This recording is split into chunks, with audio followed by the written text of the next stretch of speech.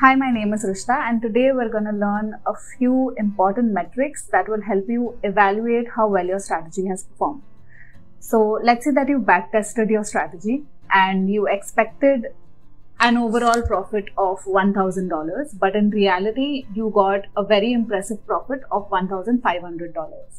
Now, even though your profit is better than what you expected, does that mean that your strategy is viable? Can you say just by looking at the PNL, can you say that the uh, that the strategy is uh, completely viable?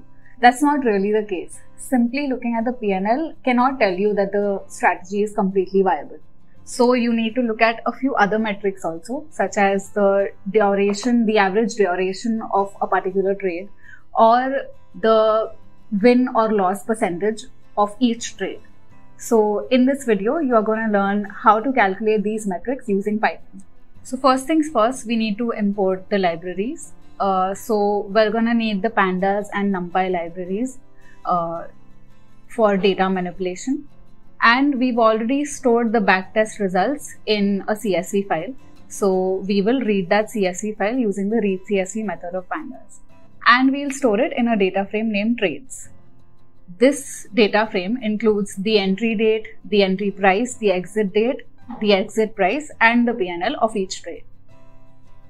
So we will start with the win percentage. That's the first metric that we are going to calculate. The win percentage is a very important metric. It will tell you the proportion of winning trades in comparison with the total number of trades. The formula is very simple. You just have to divide the number of winning trades by the number of total trades. So uh, for this, we will uh, start by creating a data frame uh, named analytics. Here we will store all the trade level analytics that we are going to calculate. In this data frame, we are going to create a column named total trades this will give you the number of total trades and we will get this by using the len method. So wherever our position is equal to 1, we will get the total number of trades of wherever our position is 1. Next, we will find the number of winners and losers. Trades that give us a profit of greater than 0 are winning trades. And similarly, trades that generate a profit of less than 0 are losers. So we will get the length of all the trades where the PNL was greater than 0 and the length of all the trades where the PNL was less than or equal to 0. And now all we have to do is apply the formula. For uh, the win percentage, we will divide the number of winners by the number of total trades and multiply it by 100. Similarly, for the loss percentage, we will divide the number of losers by the number of total trades and multiply it by 100. So for this strategy, the total trades were 73, out of which the number of winners was 39 and the number of losers was 34. This indicates that the total proportion of winning trades is more than the proportion of losing trades. But does that mean that a strategy performed really well or that it did not perform well at all? So the win percentage comes out to be 53%, but around 46% of our trades are lost trades. So does that mean that our strategy did not perform well? That's not entirely true. Even a win rate of less than 50% can mean that you have a good strategy at hand. Uh, it may sound logical that a higher percentage of win rate would be a good strategy, but if you have more winners generating a higher proportion of profit, then even a lower win percentage can mean that you have a good strategy. So to determine that, you also need to know the average profit or loss per trade. So next, let's calculate the average PNL. The average profit per winning trade is calculated in a very simple manner.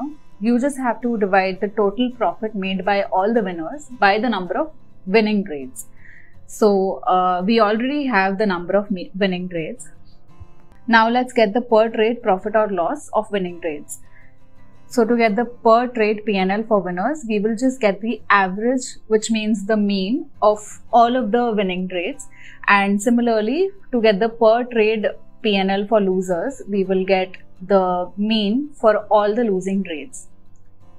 So here you can see the average profit per trade comes out to be 91.29, which is far greater than the average loss per trade, which is 60.45. Next, we have the average trade duration. The average trade duration is also known as the average holding period per trade. So, that is the amount of time that you held a particular trade. This is important because your capital is locked during that time and it cannot be used anywhere else. So that way it limits the number of trades that you can take and it also limits the potential profit that you can make.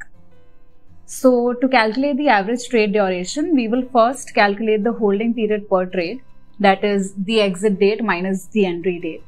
Next, we will calculate the average using the mean method. So we will we will first convert the entry time and the exit time to date time format using the to underscore date time method of pandas. Then we will calculate the holding period, which is the exit date minus the entry date, and then simply take the mean of it.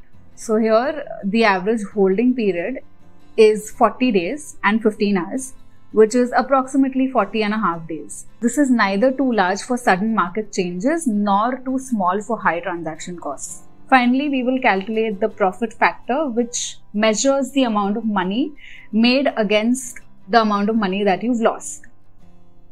So basically, it will tell you the amount of money that you've made against every dollar that you lost.